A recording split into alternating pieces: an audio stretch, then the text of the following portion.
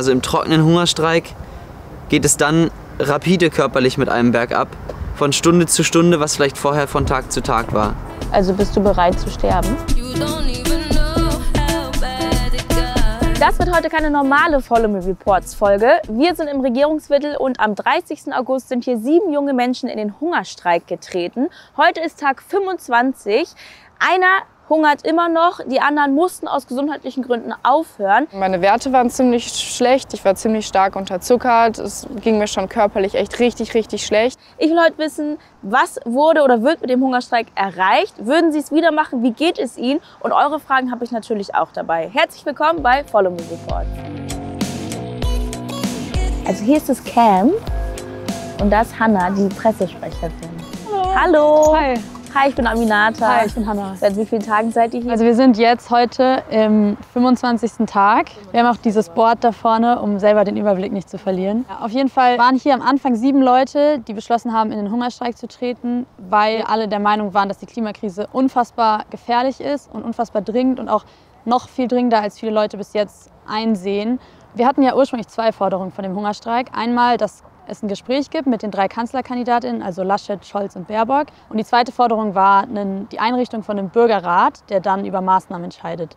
Und jetzt sind wir halt einen Tag davor, eigentlich nur noch einen halben Tag, und die haben halt immer noch nicht zugesagt. Und Henning hat aber die Entscheidung für sich getroffen, dass er heute Abend immer noch wartet auf die kommen und wenn die nicht kommen, will er auch aufhören zu trinken. Also das nennt man dann trockenen Hungerstreik. Wir werden noch mit Henning selber sprechen, soweit es geht, dann werdet ihr das von Henning selber hören. Zeig mir mal, wie ihr es euch hier zurechtgebaut habt. Ja, hier sind die Toiletten, die wir natürlich brauchen. Also weil wir sind jetzt alle seit 25 Tagen auch wirklich durchgehend hier. Hast du dich vorher mal gefragt, ob du auch hungern möchtest? Ich habe ganz kurz überlegt, ob ich es auch mache, aber es ist halt mega die individuelle Entscheidung, ob man sich dafür bereit fühlt. Und irgendwie habe ich mich da nicht so gesehen. Und dazu kommt halt noch, dass ich von früher schon so ein bisschen Erfahrung hatte mit Pressearbeit und so und dann halt einfach das Gefühl hatte, ich bringe mehr in die Gruppe rein, wenn ich da an der Stelle helfe, als wenn ich halt noch eine Person bin, die zusätzlich hungert. Aber waren die Hungernden alleine immer einzeln in Zelten? Also manche hatten ein eigenes Zelt, manche haben sich eins geteilt. Aber ist es nicht auch gefährlich dann, wenn die nachts irgendwie alleine sind oder so? Das Problem war eigentlich immer eher beim Aufstehen.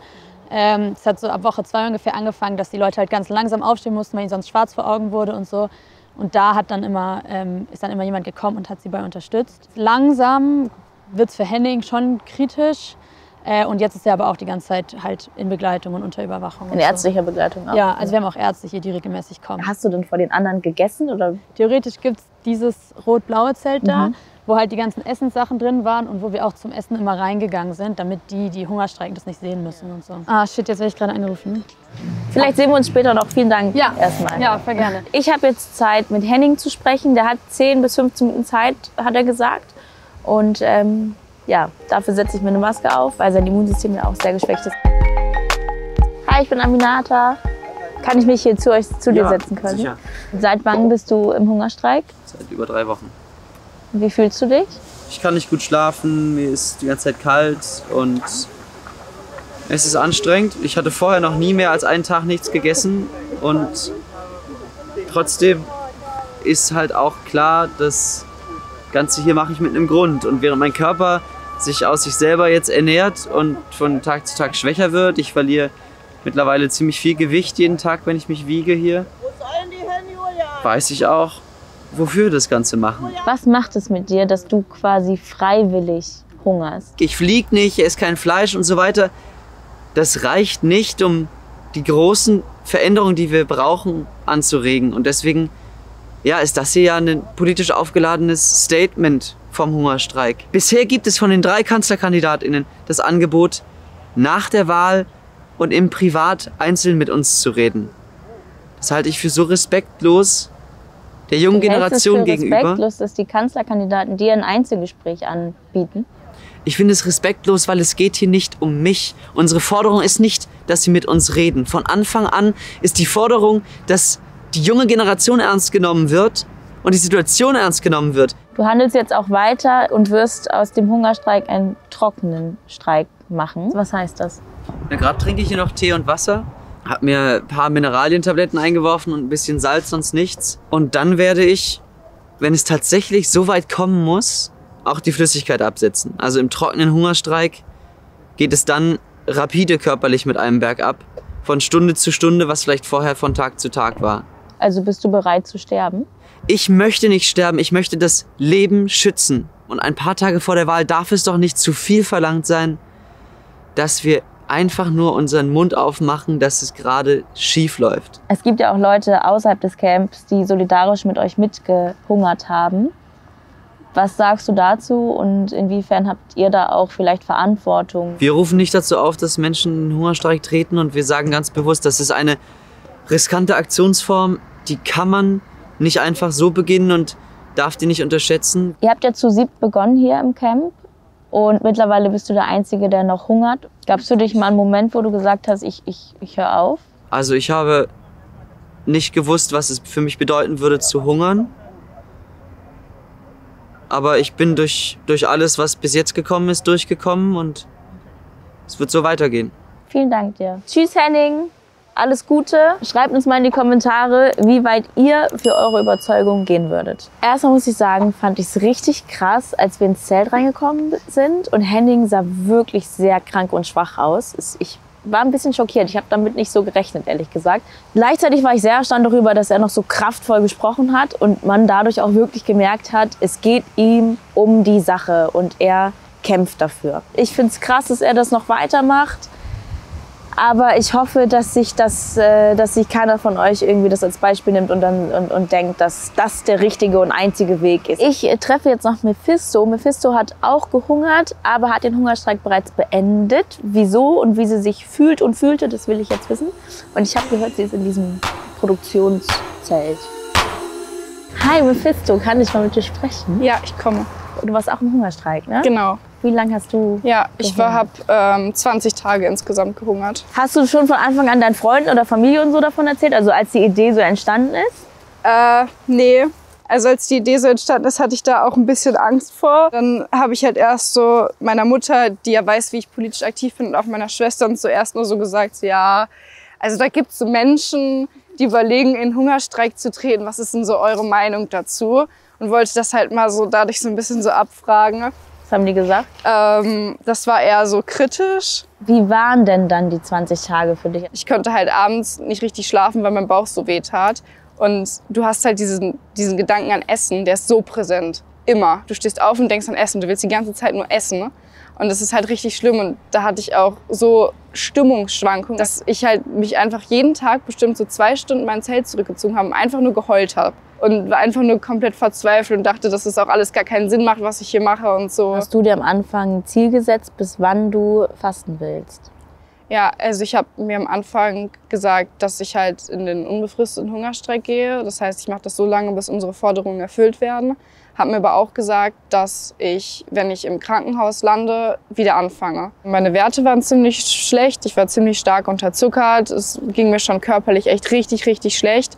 Und dazu ging es mir auch psychisch immer schlechter. Und dann ist Lina, so meine engste Freundin hier, mit der ich auch schon ganz schön lange Aktivismus mache, ist dann halt an, am Samstag umgekippt und musste ins Krankenhaus gebracht werden. Und das war dann für uns beide so ein Punkt, wo wir gesagt haben, so ey, wir halten es hier beide nicht mehr aus. Unsere Grenze ist erreicht. Wir fragen immer vor unsere Community, ob sie Fragen haben. Und da gab es auch ähm, viele Kommentare dazu, dass es ja, bekloppt finden, sage ich mal jetzt mhm. einfach so, was ihr hier macht. Wie gehst du damit um oder was sagst du dazu? Also es war vor allem am Anfang, als generell noch nicht viel Feedback zu der Aktion reinkam und dann vor allem viel Negatives, war es halt schwierig, weil ich viel von dem negativen Feedback auch verstanden habe. Welches negative Feedback hast du davon verstanden? Ähm, vor allem dieses Feedback mit, ey, ihr seid alles weiße, privilegierte Menschen, die in Deutschland leben und ihr geht dahin und hungert, obwohl überall auf der Welt Menschen wirklich am Hungern sind. Wie könnt ihr das mit euch vereinbaren? Aber was ich dagegen halt immer nur so sagen konnte und wie ich das dann mit mir vereinbaren konnte, war halt, weil ich weiß, was ich hier für ein Glück habe, in Deutschland zu leben und aus der Familie zu kommen, aus der ich komme, muss ich halt mit diesem Wissen, auch dass ich diese Privilegiertheit habe und in der Lage bin, was zu machen und auch in der Lage bin zu protestieren, das halt irgendwie nutzen. Hast du dann an, an Menschen gedacht, die tatsächlich nicht essen können?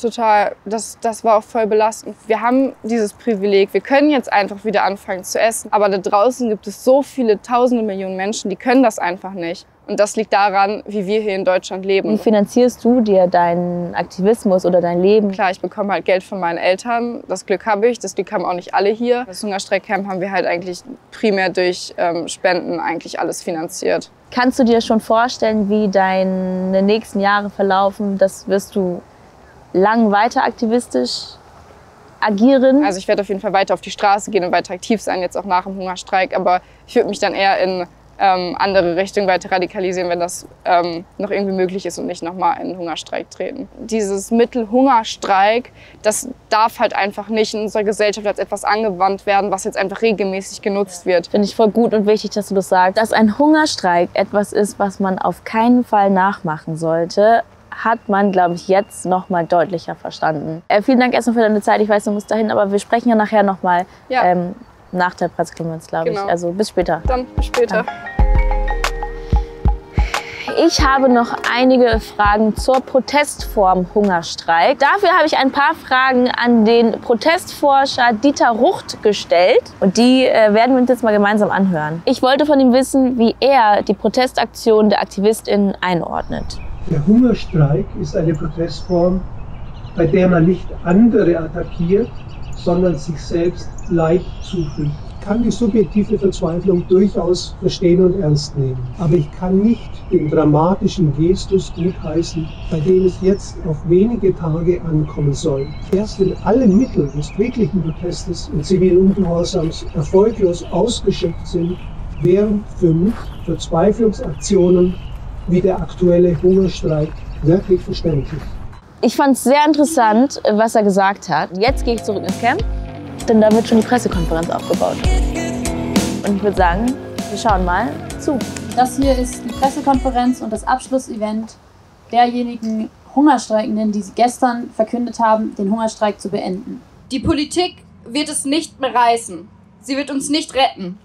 Und diese Erkenntnis ist nicht neu. Ich finde, man sieht und spürt hier auch nochmal, dass das, glaube ich, schon eine sehr, sehr intensive Zeit hier in diesem Camp für die Hungerstreikenden war. Und auch für Hannah, die da auch schon wieder Interviews gibt vorne. Hi. Hi. Was ist euch jetzt gerade, weil ich hätte jetzt Zeit. Ja, perfekt. Was würdest du jetzt sagen, auch mit der Pressekonferenz, die jetzt gelaufen ist, hat sich das Ganze gelohnt?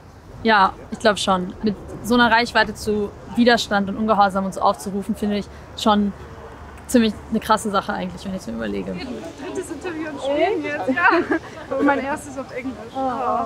Wie war es jetzt für dich? Man gewöhnt sich so ein bisschen dran, muss ich sagen. Also ich gewöhne mich auch irgendwie mittlerweile dran, ständig vor Kameras zu reden und so. Hattest du zwischendrin Zweifel? Auf jeden Fall. Vor allem so in den, in den ersten zwei Wochen, als es mir halt so schlecht ging, habe ich echt viel gezweifelt an der ganzen Sache.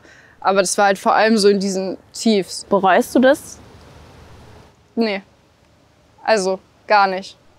Also trotz allem, was ich auf mich genommen habe, bin ich echt froh, dass ich das gemacht habe. Hannah, wie ist bei dir? Es gibt auf jeden Fall Sachen, die nicht gut gelaufen sind und wo ich mir gewünscht hätte, dass sie anders gelaufen wären und so. Aber nee, ich würde nicht sagen, dass ich die ganze Sache bereue. Vielen herzlichen Dank, dass ihr uns heute die Möglichkeit gegeben habt, uns einen Einblick hier zu geben. Ich wünsche euch alles, alles Gute und äh, ich zwische jetzt ab. Ciao. Ciao. Ich habe anfangs gesagt, dass es keine gewöhnliche Follow Me-Folge ist und deshalb endet die jetzt auch etwas ungewöhnlich. Ich bin wieder zurück in der Redaktion. Das Video geht gleich online und ich habe mir noch mal ein paar Gedanken gemacht vom Drehtag im Camp bis jetzt.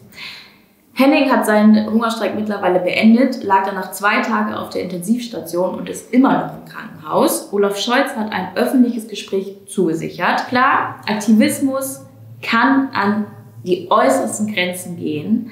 Aber ich finde, dass die Protestform Hungerstreik fürs Klima eine Grenze überschreitet. Ich kann es verstehen, dass die Klimaaktivistinnen diese Ohnmacht spüren, dass sie nicht gehört werden und dass sie für Anliegen noch weiter kämpfen müssen. Aber es kann nicht sein, dass dieser Kampf auf der Intensivstation endet. Dafür leben wir immer noch in Deutschland und haben andere Protestformen, die wir wählen können. Es würde mich sehr interessieren, was ihr dazu sagt. Die Kommentare sind offen. Schreibt es rein. Ich werde alles lesen. Bitte äh, sagt uns, was ihr dazu denkt. Hier gibt es noch ein weiteres Video von Follow Me. Da seht ihr Robin, der Jan Lukas getroffen hat. Der ist nach Syrien gegangen, um gegen den IS zu kämpfen. Das war seine Überzeugung. Und hier seht ihr ein Video dazu, wie real die Klimakrise ist. Das seht ihr bei unseren Kollegen von Y-Kollektiv. KollegInnen.